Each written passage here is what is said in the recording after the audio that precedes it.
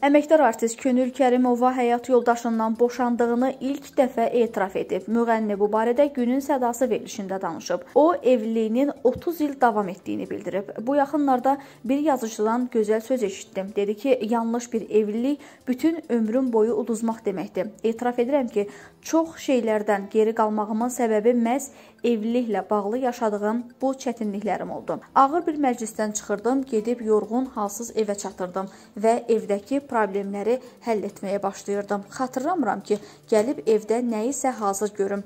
Əslində bu addımı atmaq o qədər də çətin olmadı. Çünki mən vidalaşmışdım. Elə ilk gündən yanlış imza atdığım andan bunu hiss etmişdim. Başa düşdüm ki, evlilik sadəcə kağız üzərində olmur. Hara qədər bacardımsa, ora kimi daşıdım.